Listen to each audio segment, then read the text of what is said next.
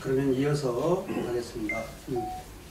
뭐 수시로 이렇게 좀 말씀하실 게 있으면 뭐 제 말을 그냥 끊고 바로 바로 말씀해 주시면 저로서는 뭐 더 좋겠습니다. 노담은 노자의 본명이고 관유는 노자 제자 윤희이다. 네. 그러니까 기뿌리자를 썼는데 이거 이게 이제 뭐 이게 성이 윤씨고 이름이 희라는 말이에요. 이거 불, 불분명하죠. 네. 왜 희를 썼을까? 어, 노자의 글을 받아서 이제 기쁘다라는 뜻이었던 것 같은데 네, 이게 불분명입니다. 어, 성과 이름이 성명이 제대로 된 이름인지 네. 아무튼 뭐 그 노자로부터 도덕경을 이제 받았다고 전해지는 어, 그분의 어떤 매력을 말해줍니다. 이름 자체가 어, 주나라 수장실 관리였던 노자는 뭐 이게 좀 말이 어려운데 간단히 말하면 국립도서관 사서였다는 말이죠. 도서관 사서. 어, 옛날에는 이제 도서관이라고 하는 것이 뭐 오늘날과 같은 이런 전적의 형태가 아니고 어, 이 당시는 뭐겠습니까? 뭐 기껏해야 죽간 뭐 주나라인데 뭐 죽간이 있겠는가 싶은 생각도 들고 아마 뭐 그렇다고 뭐 갑골문이냐 갑골문은 이제 점침 기록인데 물론 이 도서관에 보관이 되어 있긴 했겠죠. 어, 양피지요? 아, 서양은 그렇겠죠. 뭐 양피지나 뭐 파피루스나 뭐 이런 걸로 어, 적었겠지만 사실 이게 뭐 어, 전설적인 이야기지. 예.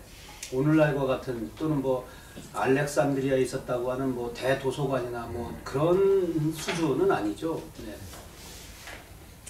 많이 이렇게 좀 과장이 좀 되어서 이렇게 전해지는 뭐 그런 어, 역사들이 많이 있는 거죠. 하은주 시대라고 하는 건 정말 어, BC 1100년경에 건국이 된 나라이기 때문에 BC 1100년이라고 하는 그 수준은 너무 이상시할 필요는 없어요. 어, 뭐 어떻게 말하면 우리가 그 원시 부족들이 살아가는 모습 겨우 뭐 그걸 면한 수준이거나 그와 비슷하거나 뭐 그런 정도 수준이었을 거라고 보는 것이 좋을 것 같습니다. 다만 청동기 문명 이 당시 청동기 문명은 참 어, 지금 봐도 깜짝 놀라울 정도죠. 그 거대한 청동기를 주조할 수 있을 정도의 그 과학 기술력, 어, 그건 정말 과학 기술이라고 하지 않을 수가 없어요. 그 하, 은나라 주나라 때 청동기를 보면 굉장히 크게 만듭니다. 물론 이게 개인적 용도가 아니고 국가의 어떤 상징 기물로서 만든 거기 때문에 온갖 정성을 다해서 만들었겠지만 그렇게 큰 주조물을 만들려면 쉽지가 않습니다.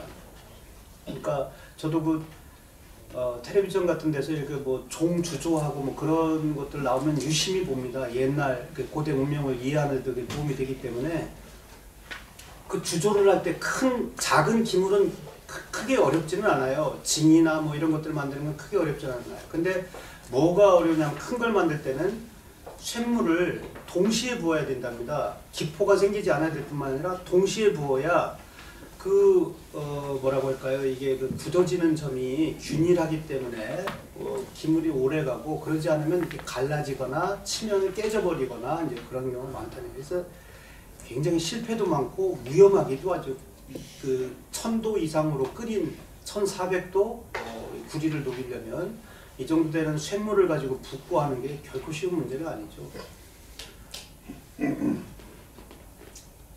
어, 주나라를 세상이 어지러워지자 주나라를 떠나 숨으려고 한국반을 나가려고 했다. 이게 무슨 이제 도가 사상의 어떤 분위기 같은 걸 보여주죠. 세상이 어지러워지고 어지러워진 세상을 보고 참을 수 없어서 나간 사람은 공자고 어지러운 세상을 보고 세상을 피해야 되겠다라고 해서 한국관을 나간 사람은 노자예요. 예. 아이, 아이러니가 아니라 반대죠. 어떤 분은 야 이거 더 이상 안 되겠다 해가지고 철환천하 수레를 올랐다고 그냥 돌아다니는 거죠. 그냥이라는 말은 좀 어폐가 있지만 하여튼 자기가 할 수 있는 최선의 일을 다해서 감동적인 생애를 보여주는 것이 이제 공자의 논어를 보면 이게 알 수가 있죠. 리얼하죠. 논어를 보면 어, 사실적 기록들이 많이 나옵니다. 공자가 실수한 이야기도 나오고 농담하는 이야기도 나오고 죽을 뻔한 이야기도 나오고 네. 상당히 정확하게 기록되어 있는 걸 볼 수가 있습니다. 어, 과장이 별로 없어요. 논어를 보면. 그래서 옛날 사람들의 그 기록은 정확합니다.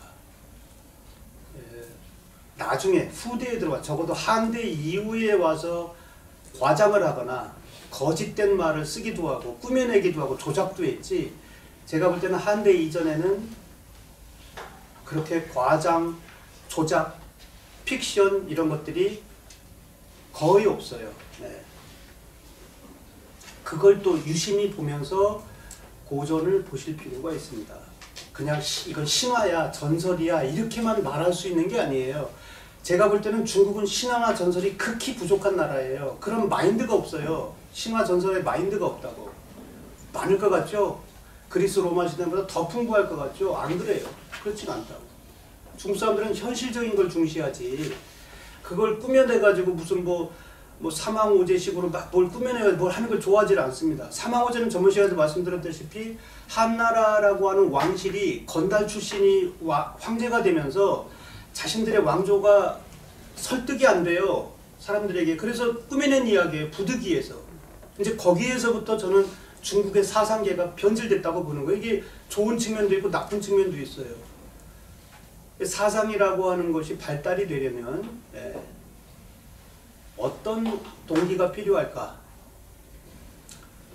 다소 좀 무리가 있다 손 치더라도 한나라라고 하는 것은 돌파를 해버렸죠. 기존의 관습을 돌파해버린 거예요. 돌파. 그 매여져 있던 어떤 리얼리즘이라고 할까 예, 사실에 입각해야 된다는 생각을 부숴버린 거죠. 그러면서 자유로운 이야기들이 창작들이 이제 나오기 시작을 하는 거죠.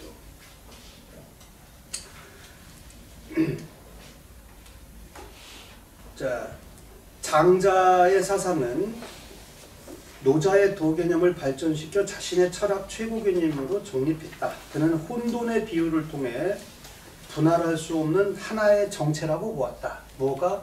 도가. 도는 분할되지 않는 하나의 정체. 정체라고 하는 말은 뭐 전체라는 말과 비슷한 말이긴 한데 어, 전체는 부분들의 부분들을 모아서 전체라고 하고요. 정체라는 말을 쓸 때는 우리 동양 철학에서는 특히 도가 철학에서는 부분으로 나누어지지 않는 하나의 한 덩어리를 정체라고 해요. 그래서 약간 다릅니다.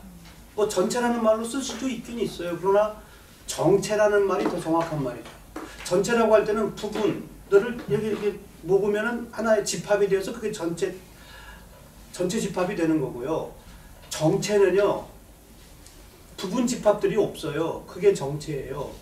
음, 나누면 죽는다는 거죠. 나누면 다른 걸로 돼버린다는 거죠. 네. 그렇지 않습니까? 이게 사람이라는 존재가 있는데 손에서 딱 나눠버린다면 이건 이건 이건 죽음인 거죠. 죽음. 예, 손도 손이 아니고 나도 나가 아닌 거지. 이렇게 같이 이렇게 유기적으로 분할되어지지 않는 온통 하나인 나. 예, 이때가 나인 거지. 이걸 딱 전환해 버린다. 물론 이제 뭐 이게 팔, 뭐 손 이런 식으로 이제 이걸 얘기하는 건 좀 그렇긴 하지만 아무튼 다 하나라고 보는 거죠. 유기적으로 결합되어 있고 이렇게 너가 나가 분리되어 있는데 왜 이걸 하나라고 하냐 이런 말을 하실 수도 있겠지만 장자가 볼 때는 그렇지가 않다는 거예요. 자, 이건 비유를 들면 무슨 말이냐면 인간의 육체를 현미경을 들여다보면 수많은 세포들이 그 속에 들어있겠죠. 어, 네. 그냥 하나인 것 같지만 수많은 세포들이 결합체고 수많은 빈 공간들로 빈 공간들 속에 떠 있겠죠 세포들이 뭐 연결되어 있는 것도 있겠지만 떠 있을 거라고요. 어, 물 위에 떠 있듯이 또는 허공에 떠 있듯이 지구와 달과 수성, 금성 지구들이 이렇게 떠 있듯이 이 미시적인 세계와 거시적인 세계, 우주적인 세계가 서로 통한다는 거죠.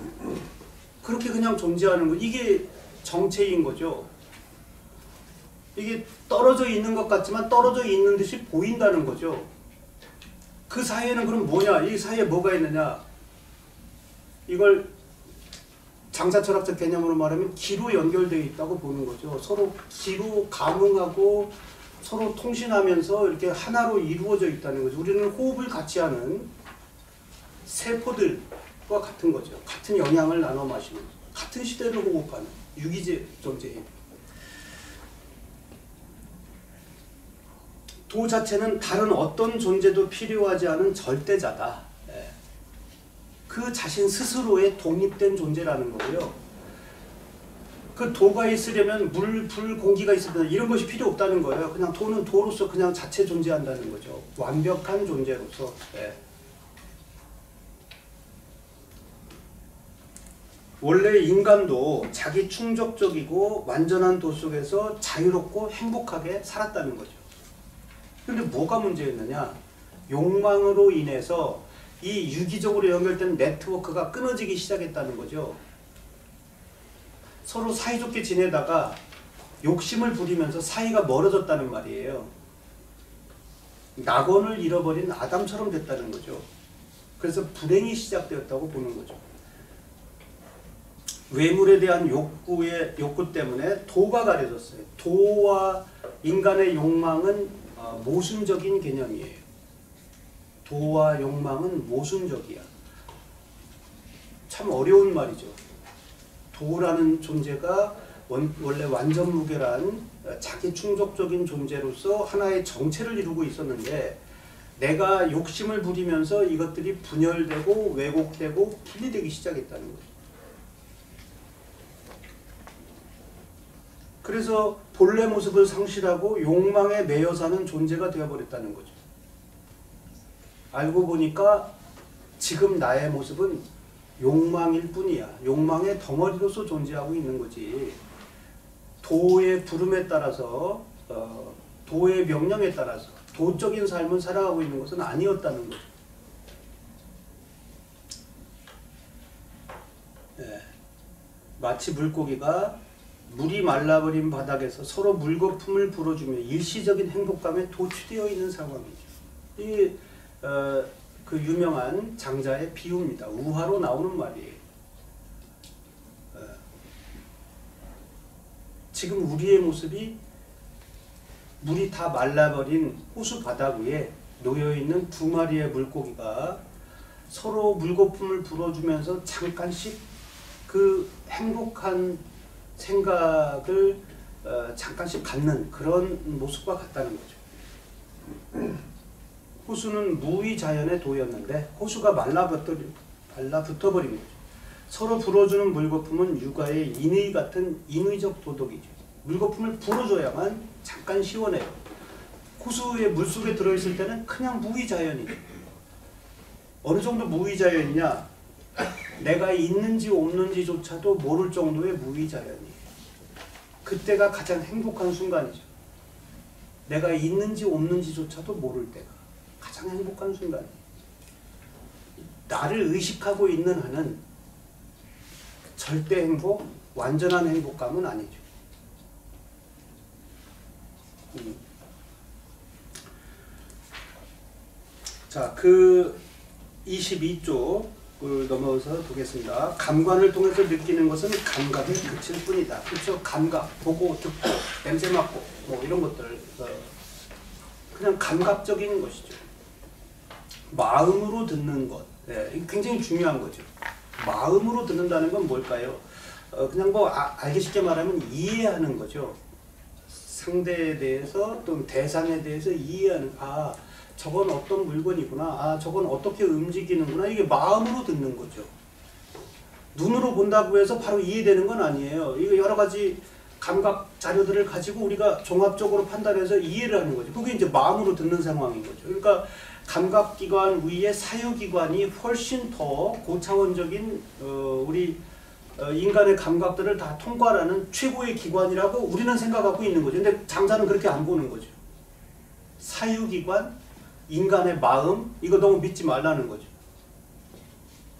너무 믿지 말아요. 왜 그러냐면 인간의 마음은 일찍부터 편질이 되어 있는 상황이라는 걸 인식하라는 거죠. 어, 주관주의 오류에 빠지기 쉬워요. 그리고 속지, 속된 지식에 빠져 있어요. 참다운 지식을 깨닫고 아는 것이 아니라 어, 세속적 지식, 그 저열한, 열등한 또는 왜곡된 네. 우물한 개구리의 비유가 이 장자에 보면 나오죠. 장자에도 나오고 열자에도 나오고 하는데 아무튼 장자에 나옵니다. 우물한 개구리. 예. 어, 정저지와 다들 아실 겁니다. 우물 속에 있는 개구리는 하늘을 동그랗다고 계속 주장을 하고 있는 거죠.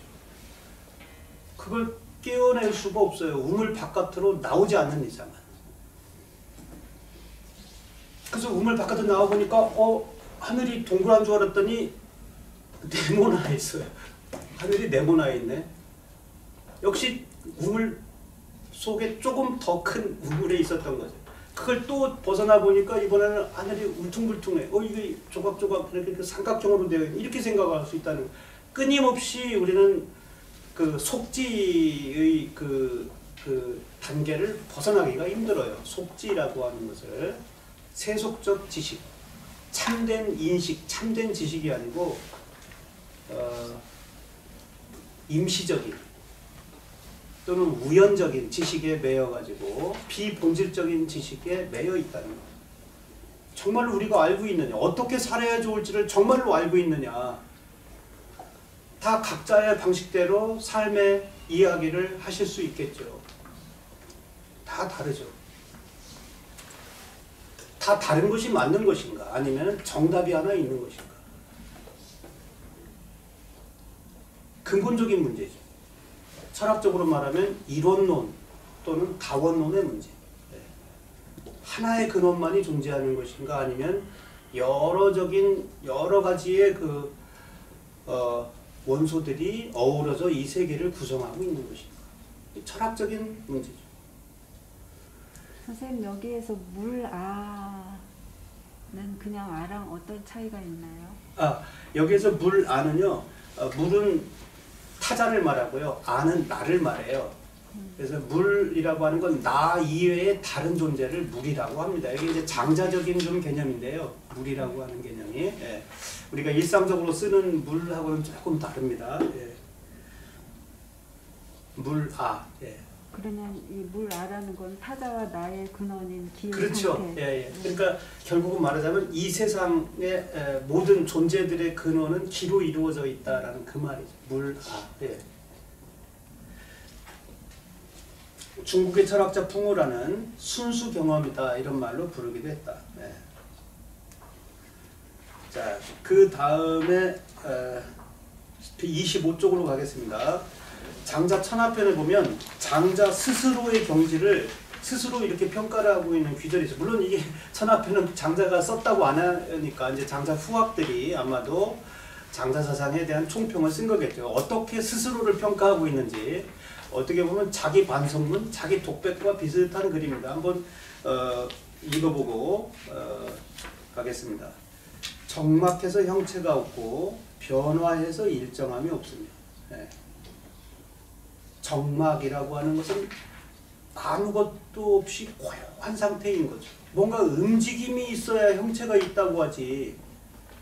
아무런 움직임이 없는 고요의 상태는 형체가 없는 거 아닐까요? 예. 그냥 정해져 있는 거, 정지 화면으로 딱 정해져 있는 거고, 그건 형체가 없는 거죠. 원래 그런 거니까. 예, 원래 그런 거니까. 비록 산도 있고, 뭐 땅도 있고 하늘도 있다 손 치더라도 그것이 그냥 그대로 있다고 한다면 그건 없는 거죠. 형체가 없는 거죠. 움직여야 형체가 있는 거죠. 물이 좀 흘러가고 구름도 흘러가고 해와 달이 뜨고 이래야 형체가 있는 거지. 그냥 정해져 있는 건 형체가 없는 거 아닐까요? 변화에서 일정함이 없어요. 자꾸 변해 또 어, 정막하다는 말과 변화한다는 말은 모순적인 말인데 여기는 그냥 이렇게 썼네요. 변화를 하기로 말하니까 일정함이 없어. 이게 이랬다 저랬다 한다는 거죠. 달이 찼다가 기울었다가 이게 어떤 게 달의 참다운 모습이라고 할 수 있죠? 없어졌다가 어떤 것이 달의 참다운 모습일까요? 보름달입니까? 초생달, 반달, 금음달입니까? 도대체 달이라는 존재는 뭘까? 예. 우리가 어떻게 달을 믿을 수가 있을까요? 달이라는 존재가 뭘까? 이 달은 신비의 화신이죠.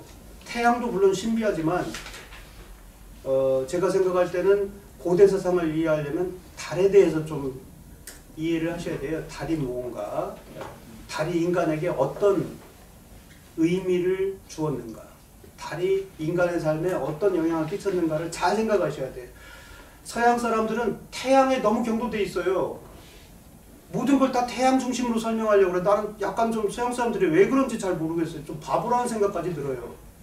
모든 걸 다 태양으로 설명합니다. 뭐 인- 마추픽추, 그 다음에 뭐 스톤헨지, 또 뭐 어디 어디 다 태양이에요. 이집트 다 태양이라고.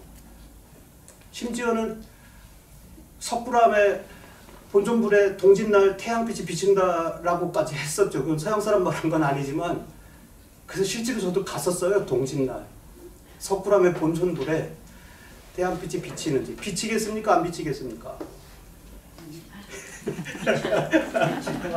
꼭 비치고 들어온다고 이렇게 딱 백호에 비친다는 말이 있죠. 백호에. 동짓날 아니라 아니더라도 비치던데 제가 제가 저 어렸을 때 갔을 때 그 새벽에 올라가서 보니까 비쳤.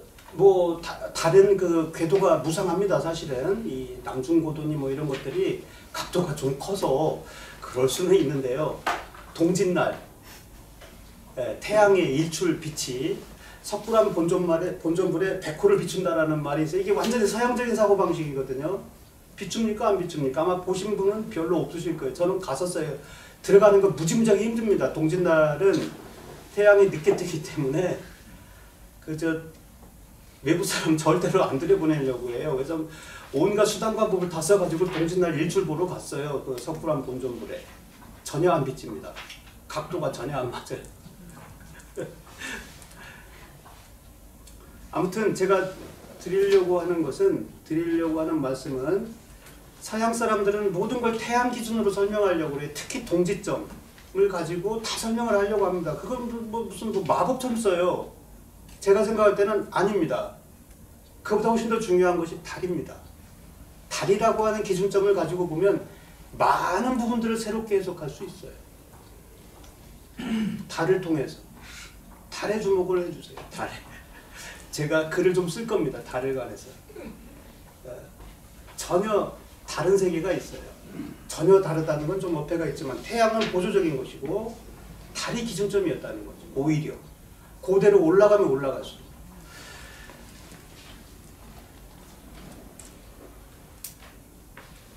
자 변화에서 일정함이 없으면 죽어서도 살아서도 천지와 나란히 하고라는 말은 천지와 같이 한다는 말이에요. 네, 천지와 나란히, 천지와 같이. 뭐 나란히 대립한다는 말이 아니고 같이 한다. 죽어서도 살아서도 천지 속에 있다 그 말이죠. 신명과 함께 행한다. 아까 신명 이게 종교적으로 해석할 수도 있고 본질적으로 해석할 수도 있고 그 두 가지로 말씀드렸었죠. 네. 아득히 어디로 가는지 알 수 없고 알 수 없다는 표현 참 중국 고전에 보면 많이 씁니다. 알 수 없다. 알 수 없다는 말의 의미가 뭔가 정말 알기 어렵습니다. 근데 결코 어, 모른다는 뜻만은 아니에요. 알 수 없다는 것은 그냥 간단히 설명하면 이겁니다. 말로써 설명하기 어렵다라는 의미예요. 알 수 없다라는 말은 음. 말로써 설명하기 어렵다.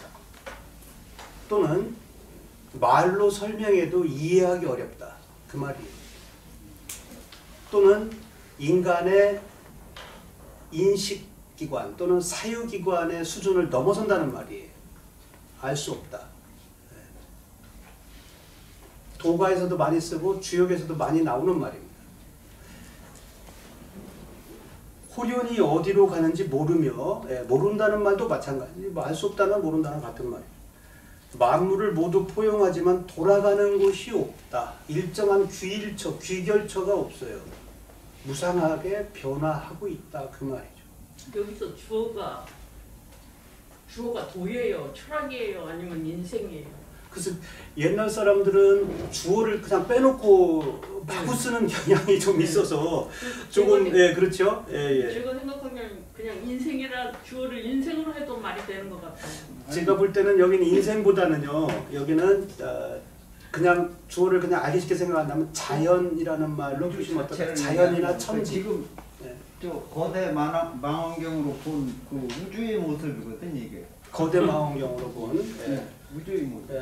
우주의 모습이 이렇다. 예, 예. 우리 태양계 자체가 지금 이렇게 우- 우주에서 보면은 태양계 그 우주의 극히 일부분이고 그렇습니다. 그게 계속 예.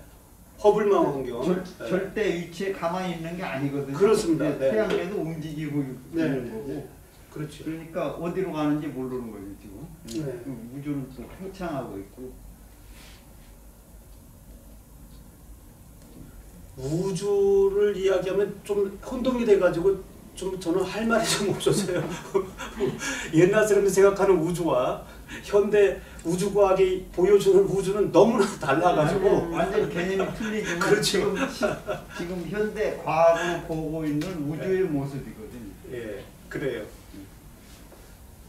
과연 옛날 사람들이 어떻게 이런 생각까지 했을까 싶을 정도로 예, 굉장히 우주과학적인 이야기까지를 하고 있는 거죠.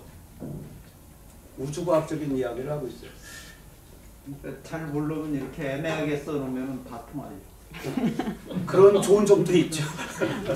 중국 사람들의 그 표현법 중에 하나가 모호한 걸 좋아합니다. 모호한 걸. 그러니까 어, 서양에서는 clear and distinct라고 하는 기준을 늘 요구를 하죠. 예, 명백하고 의심의 여지 없고 분명하게 그걸 딱 한 점을 지적을 해줘야 되는데 동양에서는 그렇게 글 쓰면 뭐라고 말하는 줄 알아요?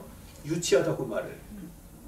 아니 그게 당신은 나의 수준을 좀 내려보는 것 같다. 그렇게 너무 말하지 말아달라 이렇게 요청을 하죠. 점, 점, 점쟁이가 먹고 사는 법 아닙니까? 그렇습니다. 선생님 정말 잘하시네. 점쟁이도 모호하게 말을 해야 됩니다. 점쟁이도 예. 아주 분명하게 말하면 위험해요. 기- 근데 예. 저는 그 춘추를 읽으면서 예. 그 가끔 그 주역 주역 점이. 나오잖아요. 점례가 나오죠 춘추에. 기막히게 들어맞는데 예. 그거 나중에 그 사실 죽어 있는 시계도 하루에 두 번은 정확하게 맞지 않습니까? 그렇습니다. 네. 예, 그러면은 네. 그게 나중에 지나간 한참 후에 예. 여기 어쩌다가 맞춘 걸 가지고 이렇게 거기다 인용을 해서 만들어 가지고 붙인 말이지. 과연 그때 그렇게 정확하게 얘기를 했을까? 그렇습니다. 예. 과연 점이란 무엇인가? 이게 굉장히 또 중요한 문제죠. 점이란 과연 무엇일까? 예. 그냥 간단하게 제 생각만 얘기하고 진도를 나가겠습니다. 저는 시뮬레이션 게임이라고 생각합니다. 점이란 음. 한번 해보는 거죠. 음. 인간은 그렇게만 해도 알아서 갑니다. 영적인 존재죠. 상징적 존재고 알아들어요. 모호하다는 것이 무책임하게 그냥 아무거나 지르는 것이라는 것보다는 인간의 어떤 측면을 탁 열어주는 거죠. 길종을 짚어주는 게 아니라 열어주는 거예요. 개발을 해주는 거예요. 그런 측면이 있죠. 그렇습니다. 저 네. 만중일기 보면은 뭐 그렇습니다. 그 만박이 준비를 하신 이수신 장군도 그렇습니다. 예. 거의 매일 점을 쳤더라고요. 맞습니다. 예. 맞습니다. 그러니까 점이 맞, 맞았으니까 친 거 아니겠어요? 아니 아니죠. 그게- 기댈 데가 없으니까 그냥 맞습니다. 거예요. 예. 정보가 없는 거죠. 기본적으로 정보가 없고. 예. 전쟁 나갈 때 적을 쳤잖아요. 당연하죠. 전쟁 나갈 때뿐만 아니고요. 매사를 점칩니다. 군중에서는. 매사를 점쳐야 돼요. 가장 많이 점친 곳이 전쟁터예요. 그리고 가장 타부도 많고 미신도 많고 하는 곳이 전쟁터입니다. 예? 했잖아요. 그렇죠. 그렇죠. 예. 그걸 미신이라고 아무도 생각 안 했어요. 그 당시에는. 아무도 생각을 안 했다는 거죠. 그리고 미신도 아니에요. 이순희 장군이 점친 것은 어, 아까 말했던 시뮬레이션 게임이고 조금 더 다른 말로 하면 관점의 전환이에요. 발상의 전환, 관점의 전환 이런 것들을 얻는 거죠. 우연을 통해 가지고 우연이라는 것이 무지무지하게 중요한 거죠. 인간은 필연의 함정 속에 스스로 갇혀 있어요. 자기 생각 속에 빠져 있다 그 말이죠. 이렇게 될 거야. 이게 틀림없어. 이 생각에 빠져서 사는 것이 인간이죠. 근데 그걸 깨주는 것이 점이고 우연이라는 거죠. 근데 사실 선생님 어떤 식 어떤 의미에서 시뮬레이션은 요걸 쓰는지 모르겠지만요. 네네. 시뮬레이션은 사실 네. 그 입력 데이터가 네. 굉장히 신빙성 있는 아, 데이터를 줄 아니, 때 이제 아니, 물론 이제 센서가 나오는 예, 예. 거거든요. 그건 이제 이제 현대 과학적으로 이제 그렇긴 예, 하지만 예. 제가 말하는 거는 옛날 예, 관점을 새롭게 한번 이해해보고 우리 상황에 맞춰가지고 그걸 적용해 본다는 그 의미지 뭐그 뭐 데이터까지 이야기하면서 그걸 얘기하기는 또 데이터가 없기 때문에 점을 치는 거예요. 아, 데이터가 네. 없기 때문에. 근데 저는 옛날에 지우 배울 때 사실 점 치는 그 옛날로 점 치는 것도 배우긴 배웠었는데 네. 그때는 그 시뮬레이션처럼 그 어떤 저, 그 데이터가 없어요. 인력 데이터가 없어요. 단지 그 상황에서 이제 어떤 결정 사안을 가지고 이제 판단을 내리는 거죠. 그러니까 그래요. 그 점에서는 상당히 생각해요. 저는. 어, 그러니까 점을 가장 비우는 것이 장자예요. 이 내용을 보시면 나중에 이제 나와요. 점쟁이를 비우는 내용들이 나오거든요. 네. 하여튼 뭐 또 보시면서 좀 이해하게 하시죠. 뭐. 예. 예. 장주는 이런 기풍을 듣고 기뻐하여 기뻐는 했는데 이게 말을 이상하게 했어요. 장주는 종잡을 수 없는 언설. 황당한 말, 끝을 가늠할 수 없는 글을 제멋대로 늘어놓으면서도 이렇게 제대로 늘어놨어요. 그런데 치우치지도 않았고 주관에 빠지지도 않았대요. 약간 좀 뭔가 좀 모순적인 말 같은데. 예. 그러니까 얼핏 보기에는 황당무계한 말인데 뭔가 우리에게 강렬한 메시지 또는 중심을 잡는 또는 본질을 지적하는 말들을 했다 그 말이죠. 음. 황당무계한 말을 많이 했는데 예. 말을 이렇게 평상적으로 하지를 않았다는 거죠. 장자는 문학가입니다. 제가 볼 때는 문학적인 이 부분이 문학성, 예술성보다는 문학성을 좀 어, 장자는 좀 이해할 필요가 있다고 봐요. 예. 뭐 장자는 예술적으로 꾸미고 싶었던 사람은 아니에요. 예. 근데 문학성이 있어요. 대단히 뛰어난 문학성이. 예. 사실 사람들에게 어떤 충고를 해주고 싶을 때 직설적으로 얘기하는 것보다는 비틀어서 얘기하는 게 훨씬 효과적이죠. 음, 충고를 해줄 때. 예.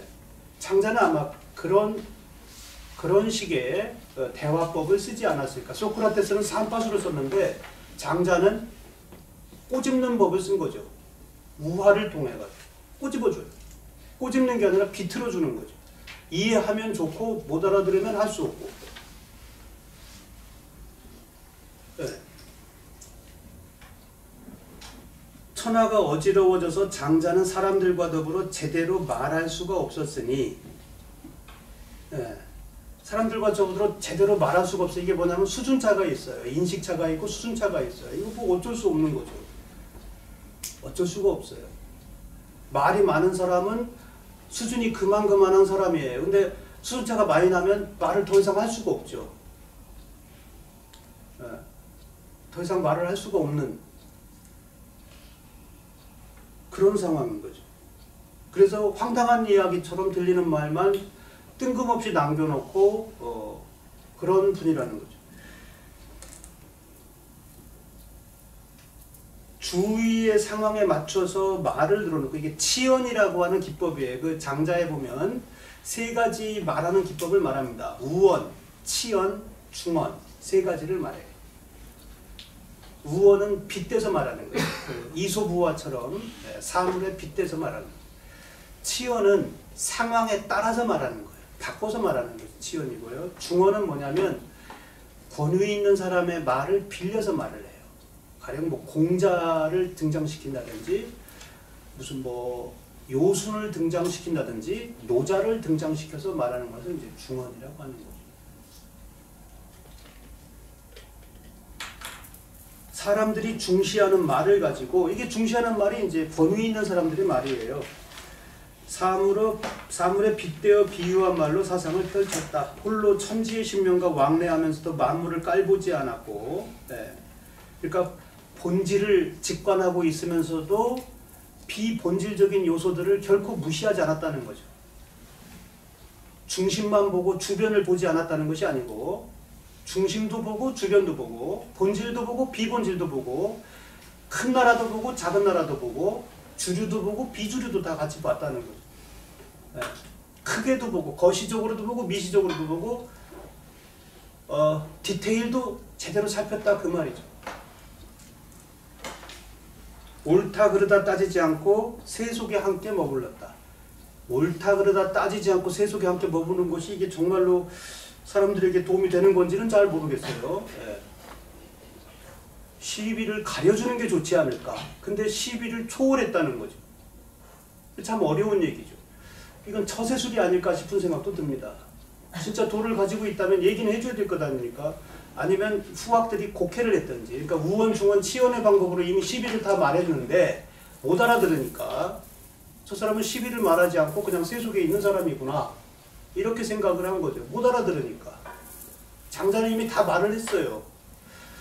장자가 복수가에서 낚시를 하고 있는데 초나라 양왕인가 그 패백을 보내서 사신이 와가지고 모셔가려고 했어요. 선생님 우리나라로 오셔서 정치를 좀 맡아주십시오.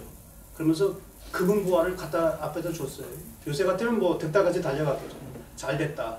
오늘 같은 날이 오기를. 이게 이제 강태공이라고 그랬죠. 장자는 거기서 비유를 들어서 한마디를 하죠. 우원을 가지고 당신은 진흙 속에서 꼬리를 흔들며 사는 거북이가 되겠소 아니면은 어, 잘 말려가지고 사당에 모셔져서 절을 받고 있다가 나중에 점치는 그 보물이 되는 거북이 등껍질가 되겠소 이렇게 물은 거죠. 그러니까 사신이 아유 뭐 죽어서 사당에 모셔져서 절을 받는 것보다는 그래도 진흙탕 속에서 사는 게 좀 낫지 않겠습니까? 그러니까 장자가 돌아가시오. 어, 나는 더 이상 할 말이 없어. 그게 이제 장자의 비유거든요. 우원이거든요. 예. 장자는 다 얘기를 한 거죠. 예. 그게 이제 일종의 정치적 환멸처럼 보이기는 하지만 당신들하고는 더 이상 나는 얘기하지 않겠다. 그리고 현실 정치에 대한 비판. 그게 초나라가 됐든 노나라가 됐든 주나라 왕실이 됐든 그따위 식으로 하는 정치에 대해서는 난 더 이상 발을 담그고 싶지 않다라는 이야기를 분명히 얘기를 한 거죠. 나를 모셔가려면 먼저 좀 당신들부터 좀 정돈 좀 하고 나를 모셔가든지 나를 잡아다가 이용만 해먹으려고 하는 거 아니냐. 판은 그대로고 시스템은 그대로고 나만 갖다가 데려다닌다고 일이 되겠습니까? 벌써 다 알고 있는 거죠. 다 알고 있는 거죠. 이용만 당한다는 거. 젊은 피 수혈한다고 말을 해놓고 이용만 해놓고 버리는 거죠. 다 알고 있는 거죠.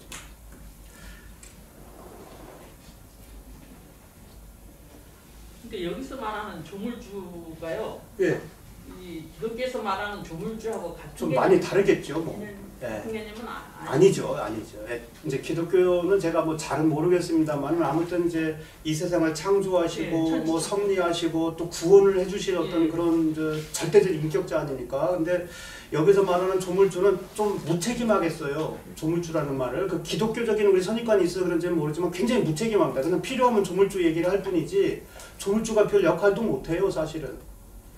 그- 그래서 노자에 보면 그 얘기를 했어요. 그 저 상제도 도가 없이는 별 힘을 못 쓴다 그 얘기를 했어요. 그 상제가 결국 조물조 개념과 이게 대응되는 말이고, 예, 그게 최상위에 있는 신적 개념인데 노자는 분명히 선을 그어버렸어요. 도 밑에 있다고 상제가. 굉장히 그 위험한 위험하고도 새롭고도 혁명적인 사상이에요. 네.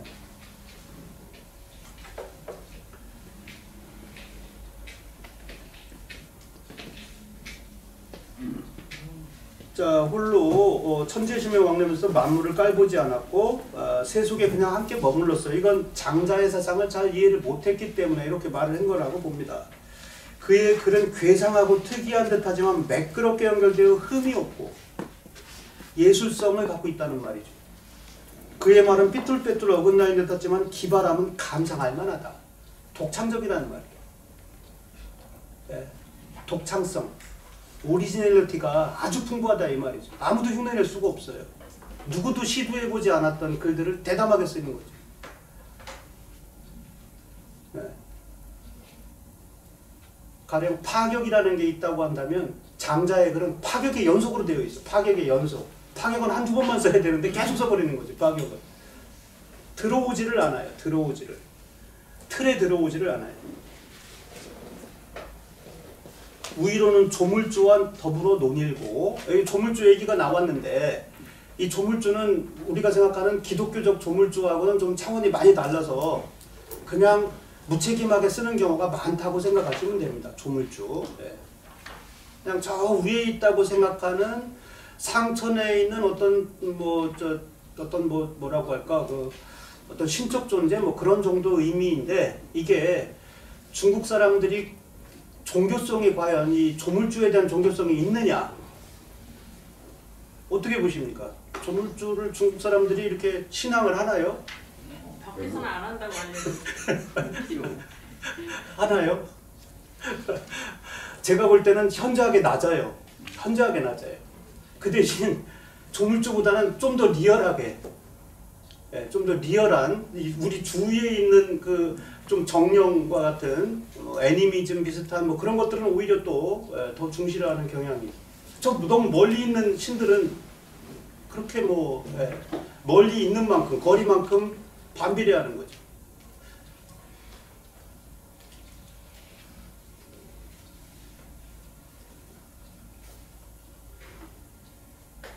아래로는 생사를 벗어버리고 앞뒤의 분별을 잊으니와 벗이 되었다.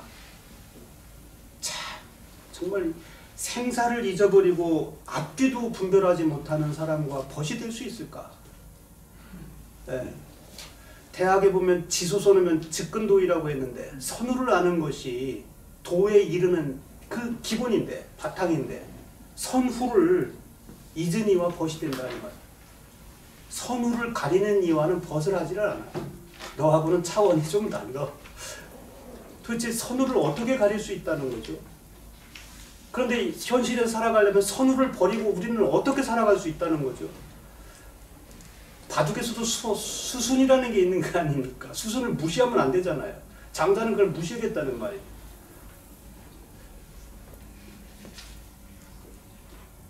그의 도, 근본은 도의 근본을 널리 열어젖히고 깊이 파고들었으며 도의 종지에 도달해서 극치를 이루었다. 네. 도의 극치를 보여준다는 거죠. 장자는. 이 말은 음, 굉장한 어, 찬사입니다. 찬사. 도의 극치를 보여준다는 말은 찬사 중에 찬사예요. 아무에게나 쓸 수 없는 말이에요. 천지의 조화에 응하면서 세속의 사물에서 벗어났으니 그가 말한 도는 막힘이 없으면서 벗어날 수도 없으니 아득히 끝날 수가 없다.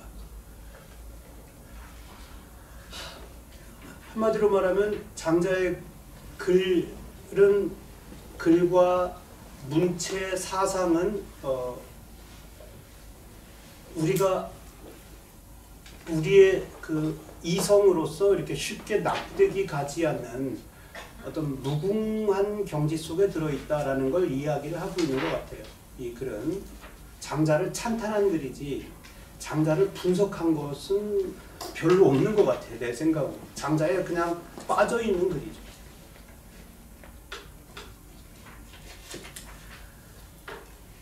음. 자 그러면 어, 조금 시간이 남기는 했습니다만은 예, 그 46쪽을 한번 보겠습니다. 다음 시간부터 이제 본문은 좀 나가기로 하겠고 사고정서 총목 제요라고 하는 예, 이게 이제 뭐냐면 강의제에서 시작해가지고 그 사고전서를 이제 편찬을 하지 않았습니까? 중국 그 역사상 최대의 총소죠 사고전서. 예. 아, 정말 대작입니다. 예. 경사사집 네 가지로 나누어 가지고 어, 굉장한 어마어마한 분량을 이제 한꺼번에 모은 거죠. 그래서 사고점서가 참 어, 중국 문화를 뭐 보여주는 뭐 그런 상징적인 말하자면 사상의 피라미드를 쌓은 거죠. 예, 사상의 피라미드 사고점서라는. 어, 그러나 사고점서 판본 자체는 별로 좋은 건 아니에요. 왜 그러냐면 급하게 결집을 하다 보니까 어, 오류들이 좀 많이 있어요. 그래서 오자 팔자들도 많고 예. 그렇게 뭐 좋은 판본이라고 할 수는 없어요. 판본 자체가 좋은 건 아닌데 전체적으로 어, 이렇게 모았다는 게 중요하고요. 일단은 전체 조사를 다 한 거죠. 그러니까 중국 전역에 있는 어, 모든 종류의 서적들을 조사했다는 것. 어, 대단한 거죠. 청나라의 힘이 참 대단합니다. 어느 나라도 못했던 거죠. 만주족 청나라가 중국을 지배한 지 얼마나 됐나요? 그때 한 100년 됐나요? 어, 완전히 장악을 다 해버린 거죠. 어, 대단한 네, 문화, 대단한 국력을 보여줍니다. 그래서 제가 생각할 때 중국 문화는 청나라에 와서 절정을 이루죠. 절정. 어, 절정입니다. 제가 볼 때는 절정이에요.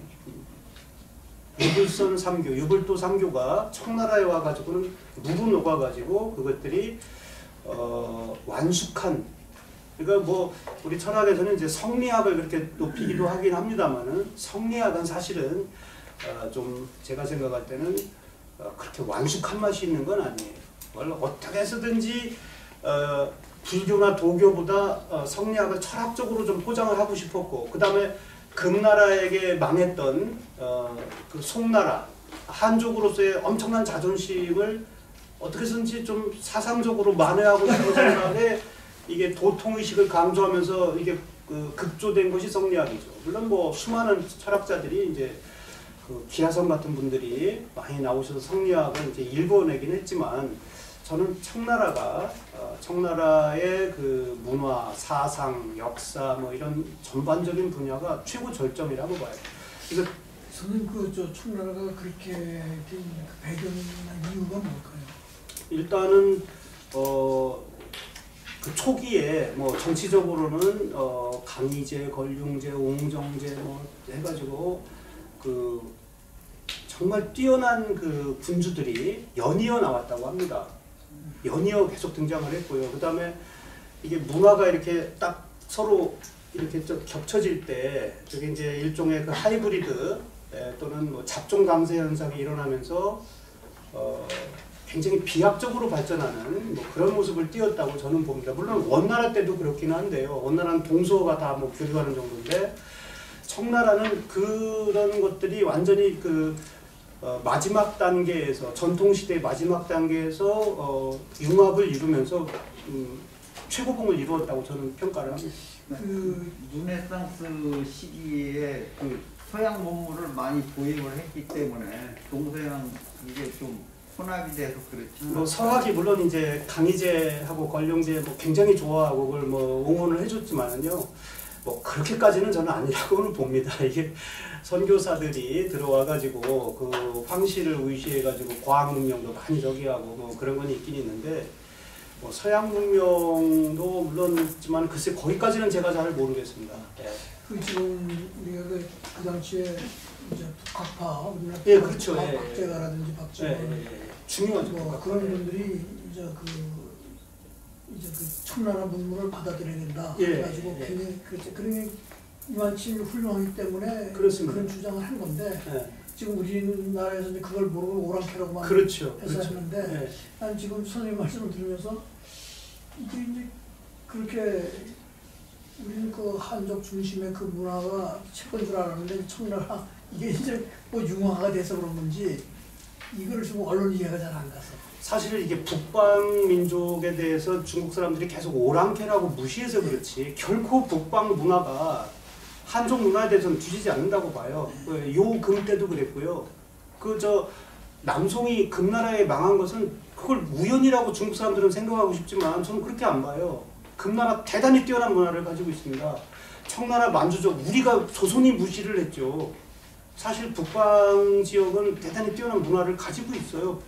자체적으로 저는 그것들이 융합이 됐다고 생각을 합니다. 그리고 훌륭한 군주.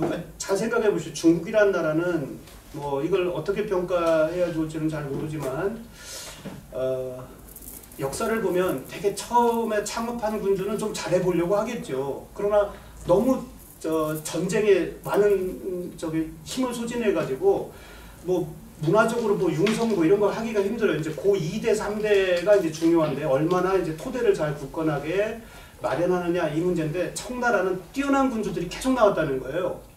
예. 한 5대 네, 5대에 걸쳐 가지고 전성기에 그 청나라 초기가 그 뒤에는 이제 이게 좀 이제 좀 뭐라고 할까 문제가 있고 특히 아편 전쟁 때는 이제 막 그 청나라 만주족들의 부패, 그 팔기군의 부패 뭐 이런 것들 얘기들이 많이 나오는데 저는 그게 만주족의 문화에 대해서 좀, 에, 좀 다시 한번 생각을 해볼 필요가 있죠. 너무 한족 중심으로 생각하는 거 아닌가 저는 그렇게 생각합니다. 아까 서양 사람들이 너무 태양에 경도돼 있다 제가 말씀드렸는데 우리 고전에 있는 사람들, 동양 고전에 있는 사람들이 너무 한족 중심이에요.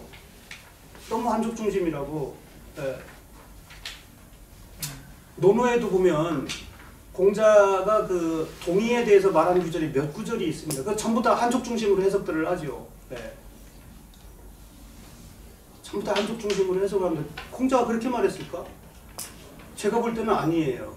공자 산동성에 있던 그 지역은 어, 원래 그 지역을 동이라고 불렀어요. 산동성 지역을 뿐만 아니라 공자가 저 바다를 타고 뭐 저 뭐저 욕고 구이 구이 땅에 살고 싶다라고 말을 한다든지 또는 뭐 만맥지방이라도 행위리라 뭐 저 그런 이야기를 하는 만맥이라든지 이런 것들을 보면 어, 너무 그걸 한족 중심으로 해석할 필요는 없다는 거죠.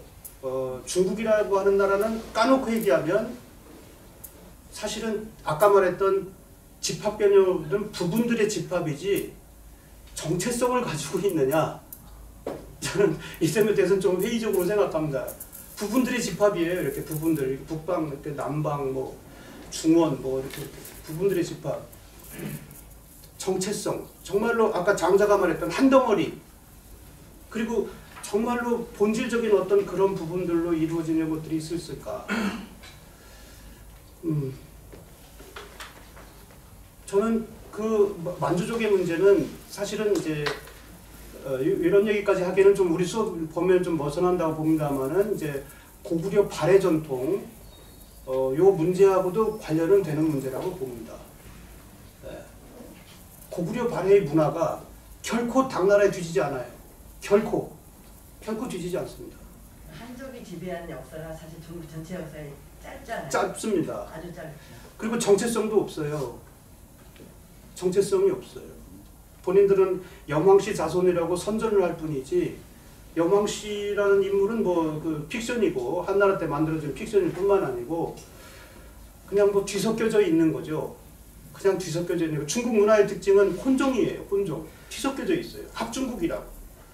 그냥 우리가 때는 한족이라는 종족이 있어가지고 뛰어난 황하 문명을 일구고 그것들이 5천 년을 유지하면서 세계 제일가 그건 중국 사람들이 말하고 싶어하는 이야기인 거죠.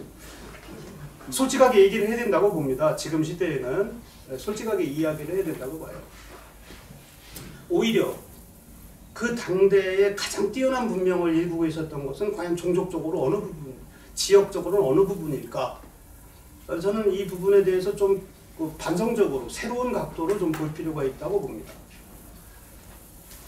뭐 송나라는 송나라들의 문화가 있고 요나라, 거란족, 이쪽은 거란족의 문화가 있어요. 몽골, 어, 또 몽골의 문화가 있어요. 물론 지금은 이제 유목 이렇게 흩어져 가지고 뭐 별 볼일 없는 것처럼 보이지만 결집이 되었을 때 또 엄청난 힘을 발휘하죠. 만주족은 그 만주 지역이 어디입니까?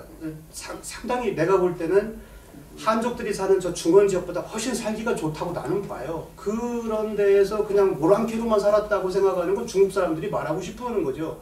만리장성을 왜 쌓았겠습니까? 두려워서 쌓은 거 아닙니까? 만리장성이 자랑거리인가요? 부끄러운 거리인가요? 두려워서 만리장성을 쌓을 수밖에 없어요. 꿈에라도 나타날까 두렵다고.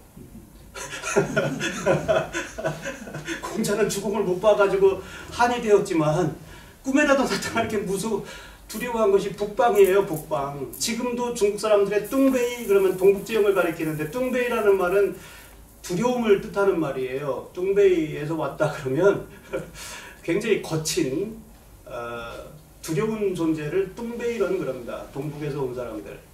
동북방 동북삼성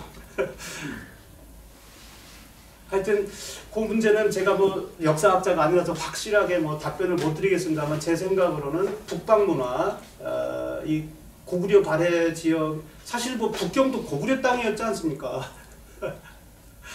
그 이제 고구려를 우리나라라고 할 수 있느냐, 중국의 지방 정부냐 이건 이제 참 뭐 동북공정 문제와도 이제 여러 가지 문제가 있습니다만은 참 말하기는 어렵죠. 뭐 말하자면 동아시아 공통의 어떤 그 이런 그 뭐라고 할까요? 그런 베이스에서 이렇게 같이 일궈온 거죠. 너무 너무 그 동안에 중국 중심 또는 한족 중심 또는 중화주의 내지는 사대주의에 너무 이게 좀 음, 편견을 좀 갖고 있지 않았을까? 도가 사상은요 중요한 소스가 하나 있는데 그게 어디냐면은 발해 지역입니다. 발해. 중요한 소스가 있어요. 발해 지역. 예, 발해 지역이 어딥니까? 고구려 발해 중심지예요. 발해 지역이 가장 융성했던 곳입니다. 고대 시기에. 어떻게 보면 장안, 낙양, 저리가라예요. 왜 그렇습니까? 발해는 풍부한 어획물까지 어우러진 기후도 정말 좋습니다. 산해관, 따렌 이런 데 가서 보시면 중국하고 달라요. 기후도 좋고 안정된 어장이 있고 어, 농수산물이 다 어우러진 풍부한 그리고 교통도 편리해요. 바레만이라는 건 좀 깊숙이 들어가 있어가지고 안정돼 있어요. 풍랑도 적고 이 발해 지역의 그 뭐라고 할까 문화적 유산, 정신 사상이 도가 사상의 중요한 소스입니다. 이게 뭡니까? 발해만에 있다는 전설의 섬이 뭡니까? 삼신산이죠.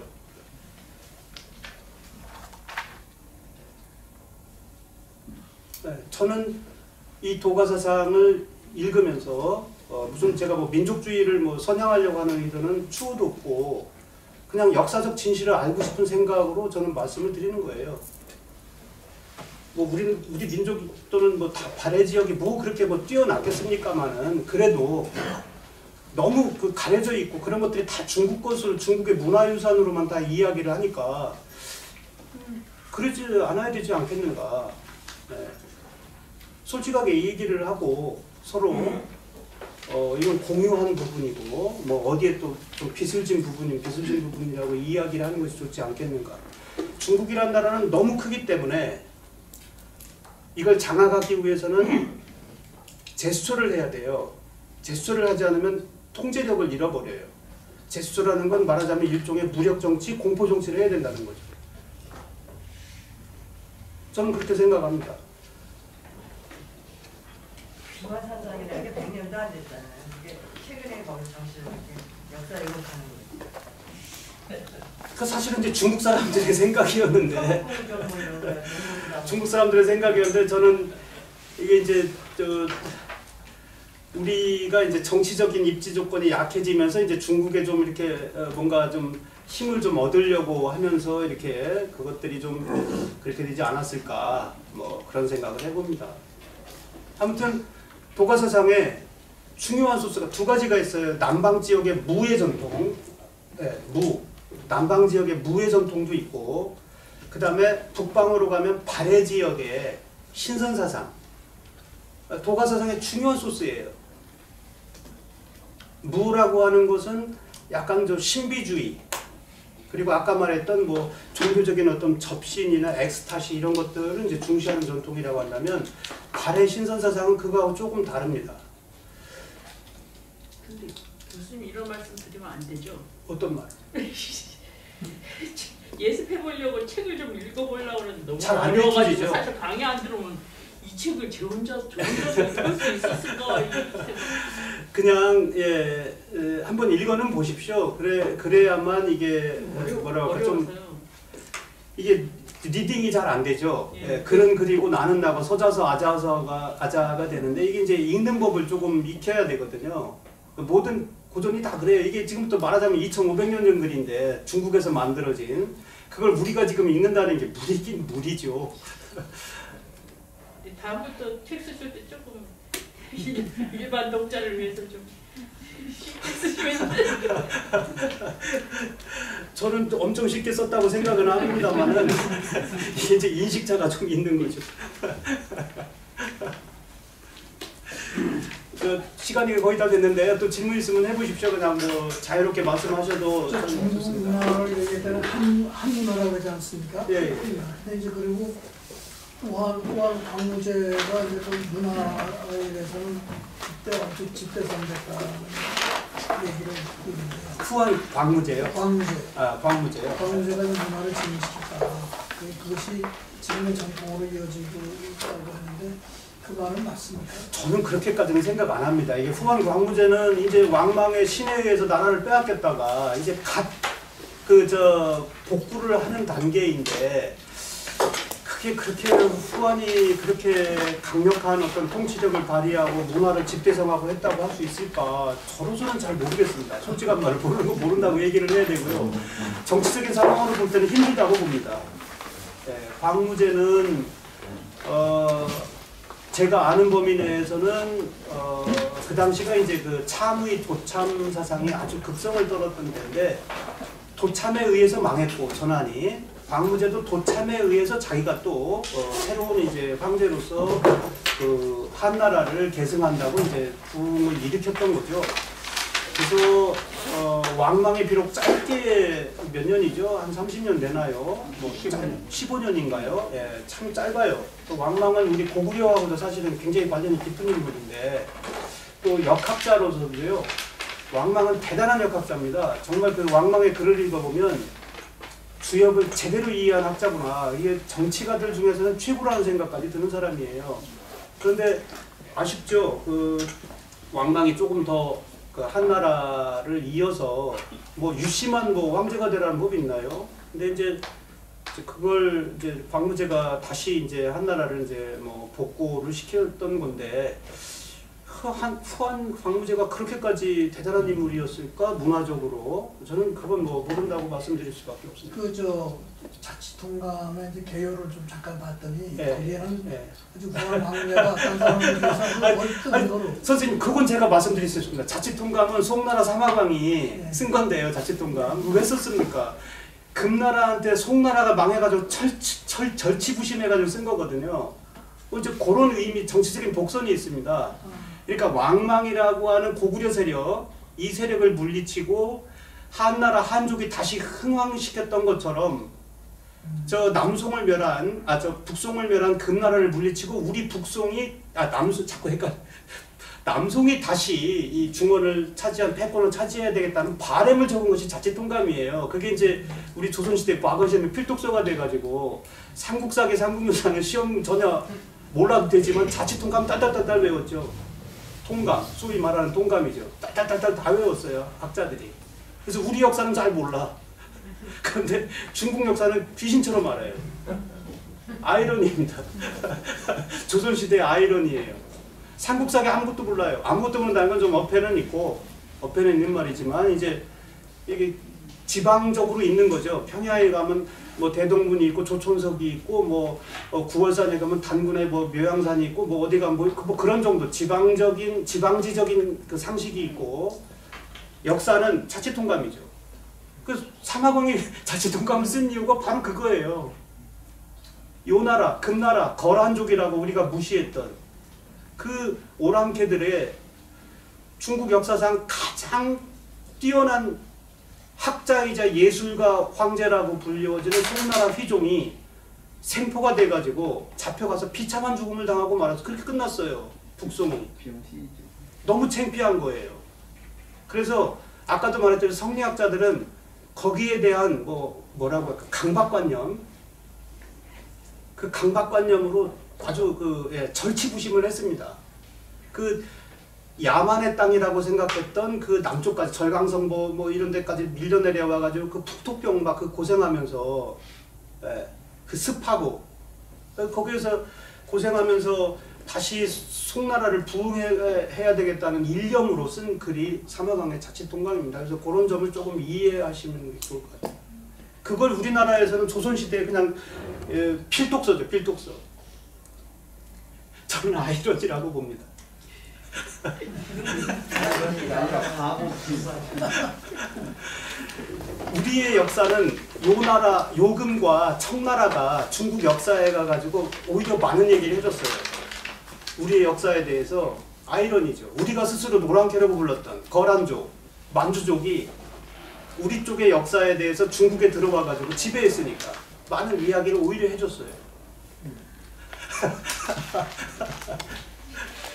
하여튼 뭐 제가 이런 쪽으로 뭐 이야기를 하려고 하는 건 아니지만 저는 어, 객관적으로 중국 고전을 그냥 옛날 방식으로 보는 게 아니고 비판적으로 보자는 거예요. 뭐 제가 뭐 선전하려고 하는 건 아무것도 아니고 현실을 리얼하게 그 잘못된 왜곡된 부분이 있으면 좀 벗겨내고 왜 우리가 계속 중화주의 관점을 따라서 논어를 해석해야 될까요?